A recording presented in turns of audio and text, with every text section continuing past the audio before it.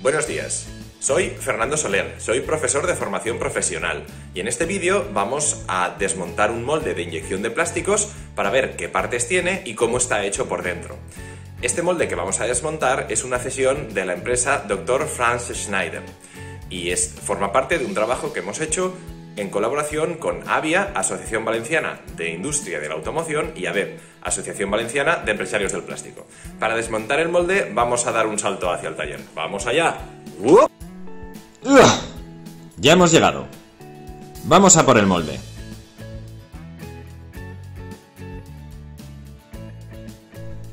Este será el molde de inyección de plásticos que vamos a estudiar. Para ello emplearemos esta pluma que puede mover hasta 2000 kilos. La nuestra es una pluma desmontable que podemos estirar tanto sus patas como el gancho. Para coger el molde lo haremos con el gancho de la grúa y tendrá que coger al molde aquí, que de hecho vemos que no tenemos cáncamo, cáncamo, así que tendremos que ponerlo nosotros. Cogeremos un cáncamo que tenga el diámetro adecuado, lo colocaremos y ya tenemos el molde listo para ser llevado. Ahora, una vez ya tenemos bien cogido el molde, emplearemos la barra de la pluma para ir poco a poco elevando el molde y poderlo situar encima de nuestra mesa de trabajo. Una vez hayamos depositado el molde encima de la mesa, lo desengancharemos de la misma manera que lo hemos enganchado y a continuación procederemos a retirar la pluma. Bueno, a primera vista, ¿qué podemos ver en este molde? Pues podemos ver aquí la parte móvil, el macho, ¿de acuerdo? Podemos deducir que esta es la parte móvil, es el macho, porque aquí vemos la placa expulsora con todos sus expulsores, ¿de acuerdo? También podemos comprobar, vemos aquí las, espitas de lo que es la refrigeración del molde y luego también vemos la parte fija o la hembra, en la cual encontramos el punto de inyección. Si nos fijamos en el macho, en la parte móvil, vemos el nollo que nos va a permitir hacer avanzar y retirar la placa expulsora. Ahora vamos a separar ambas partes y lo haremos con la barra de cobre. Respecto a la, barra, a la barra de cobre hay algo que tenemos que decir. Generalmente para abrir los moldes se, se emplean barras de cobre. ¿Por qué? Pues por varios motivos. Como podéis ver, la barra se va deformando. La barra de cobre va deformándose en la punta, ¿de acuerdo? Y poco a poco se va formando en su extremo lo que sería una forma de seta, ¿vale? Que nos ayuda al golpear el molde a poderlo abrir mejor. Al ser de cobre, como su límite elástico es mucho más bajo que el del acero con el que están hechos los moldes, es mucho, es muy, es prácticamente imposible que podamos dañar el acero del molde, porque el que se deforma, la que se deforma es la barra. Además, la barra de cobre, debido a la densidad del cobre, pesa mucho y entonces eso simplemente por su propio peso, por su propia inercia, nos ayuda a poder abrir el molde con facilidad. Por eso, para abrir moldes se emplean sobre todo barras de cobre. El procedimiento para abrir el molde es sencillo. Con la barra de cobre iremos golpeando a ambos lados de la placa sufridera, primero en un lado y luego en el otro. De esa manera lo que vamos a intentar es evitar que las placas se encajen. Si solo golpeáramos en un lado, se iría girando y se encajaría del otro lado. Así es que vamos a ir golpeando primero un lado y luego el otro. Y así, poco a poco, el molde se irá abriendo. A medida que vamos abriendo el molde, podemos ver ya algunas cosas que hay en su interior. Por ejemplo, ahí asomando podemos ver unos machitos que servirán para hacer la forma de la pieza. También podemos observar que hay bastante grasa en las placas. Esta grasa se coloca como parte del mantenimiento preventivo para evitar su oxidación.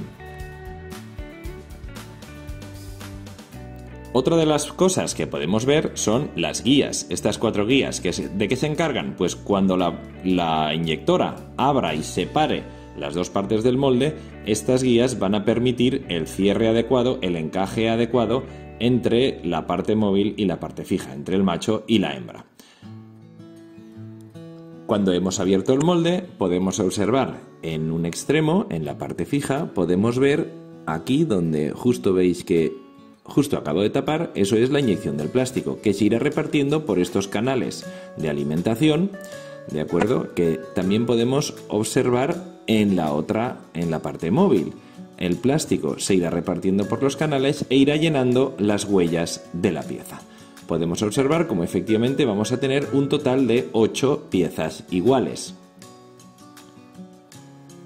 Si hacemos un zoom de la pieza, podemos observar con más detalle cómo para cada pieza tenemos aquí unos machitos que lo que van a hacer es un hueco interior en la pieza fabricada.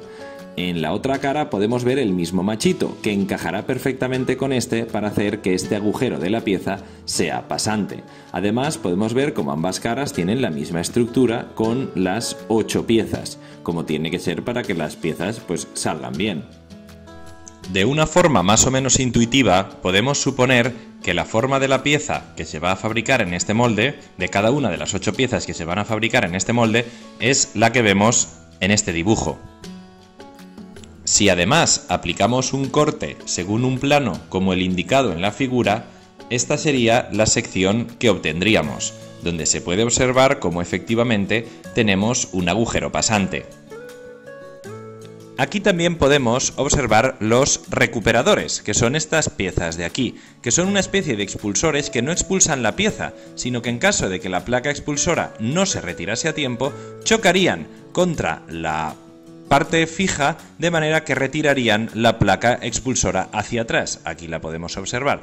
Y de esa manera, ¿qué es lo que conseguiríamos? Que si la placa expulsora no se retirase a tiempo, cuando los expulsores, que vemos aquí todos los agujeros por los que estarían saliendo, fuesen a chocar contra la huella de la pieza, se retirarían a tiempo por acción de los recuperadores.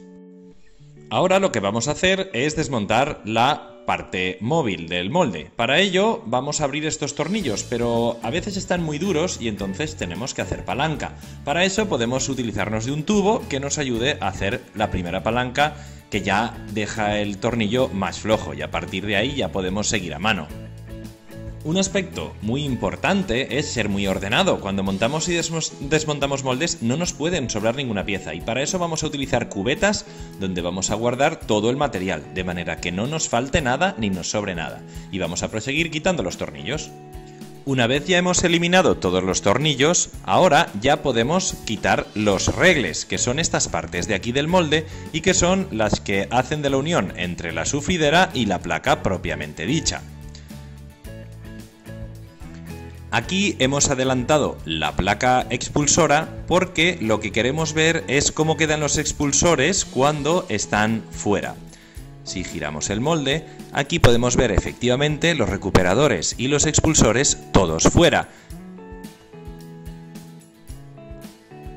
Si nos fijamos en cada una de las piezas, vemos dos expulsores normales más un expulsor tubular, que es el que nos va a permitir hacer el trozo cilíndrico que salía hacia afuera de la pieza. Asimismo, también podemos ver que hay expulsores para extraer lo que es el plástico que se va a quedar en los canales de distribución. Esto es importante porque si no, el plástico de estos canales se quedaría aquí enganchado y podría darnos problemas a la hora de extraer la pieza. Asimismo podemos ver los recuperadores, que como ya hemos dicho son los que golpearán contra la parte fija en caso de que la placa expulsora no se haya retirado a tiempo, aunque esto no debería pasar. También podemos observar perfectamente cómo los recuperadores llegan más lejos que cualquier expulsor, precisamente porque son los recuperadores los primeros que han de chocar contra la hembra, para que no golpeen los expulsores. A veces sucede que podemos mirar y ver un expulsor que es más largo que llega como más lejos que el recuperador, pero en realidad esto no es cierto. Lo que pasaría es que habría un agujero en la hembra que haría que al final el primero en golpear la parte fija sería el recuperador.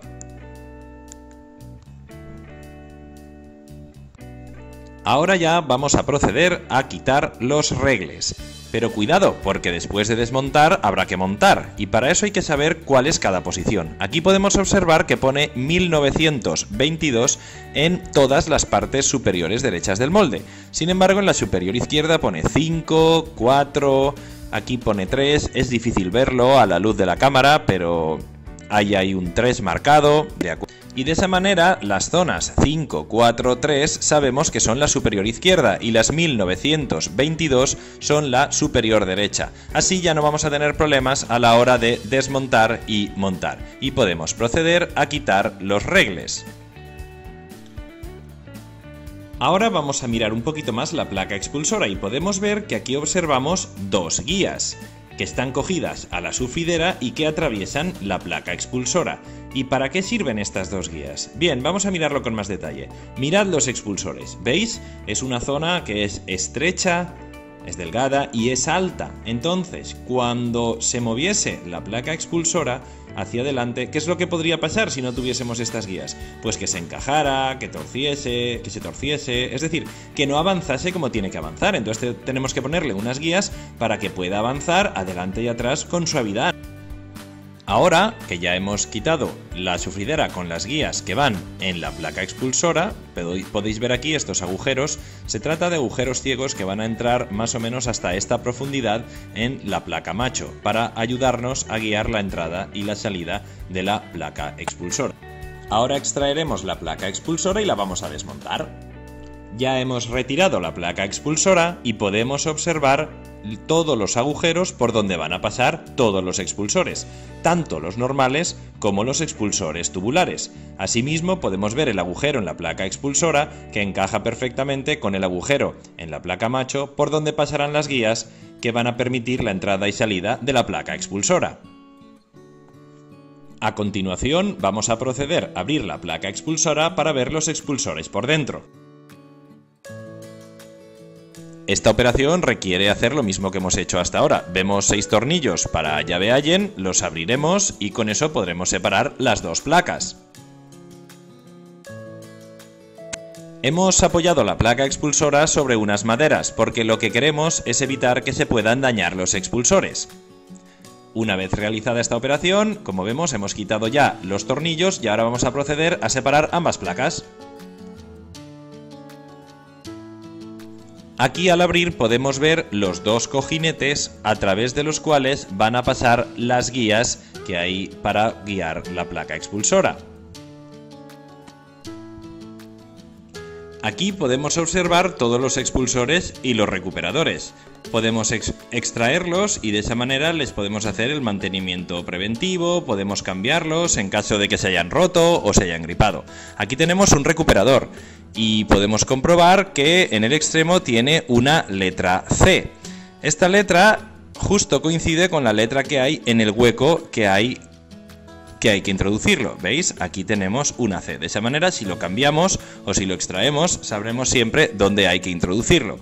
Bueno, aquí podemos ver todos los expulsores. Este, estos con un agujero en el interior son expulsores tubulares. Podemos ver cómo todos efectivamente tienen una numeración tanto en la cabeza como en el lateral. ¿Qué más podemos encontrar? Bueno, pues si volvemos a la sufridera, vemos que estas guías pueden extraerse, lo cual es muy interesante para su mantenimiento preventivo, porque lo que haríamos sería engrasarlas para que puedan funcionar adecuadamente.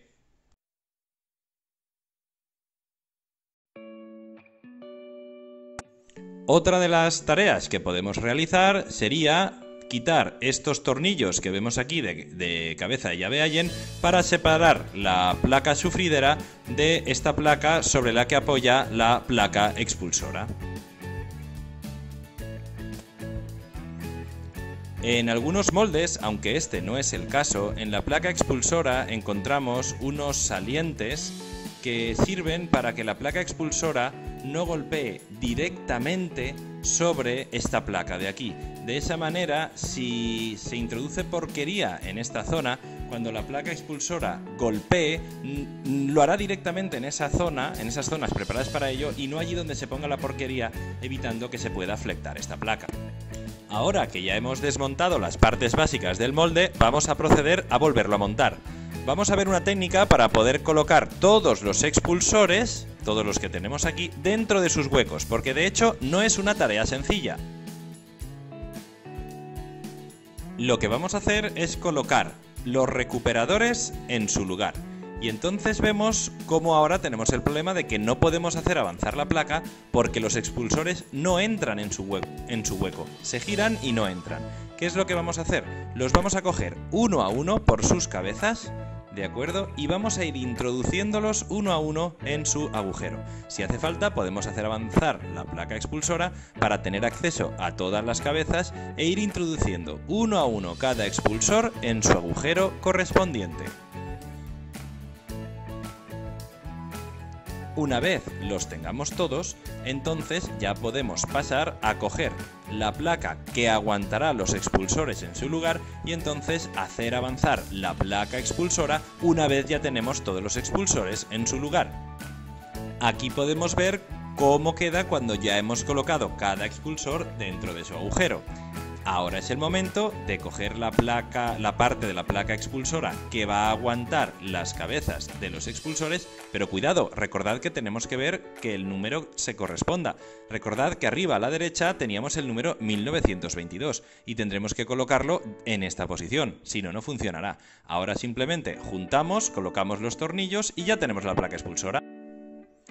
Ya tenemos colocados los tornillos de la placa expulsora y ahora vamos a proceder a colocar la placa sufridera. Pero cuidado, hay que recordar que hay una parte que va arriba a la derecha, que es el número 1922. Aquí lo tenemos. Así es que ahora colocaremos aquí las guías que nos van a permitir la entrada y la salida de la placa expulsora cogemos una de las guías, la colocamos, hay que asegurarse que entre bien y que llegue hasta el final, que entre al agujero ciego que tenemos en la placa. Colocamos la otra guía, la ponemos en su posición y lo mismo, tiene que llegar hasta el final. Ahora luego tendremos que introducirlas para que efectivamente lleguen hasta el final. Para eso utilizaremos el mazo de goma. Llegado a este punto, vamos a colocar los regles.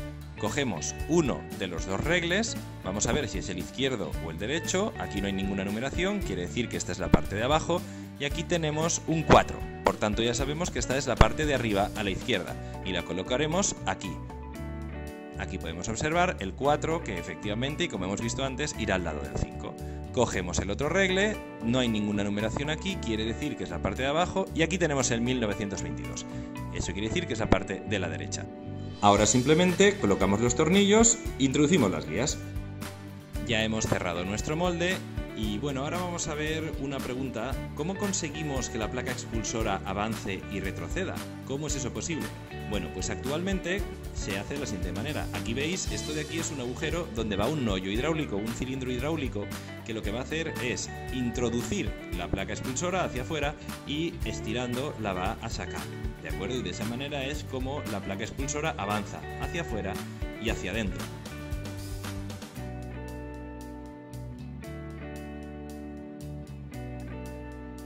Antiguamente esto no era así, sino que la, vuelta de la placa expulsora se conseguía a través de los recuperadores, al golpear la parte fija.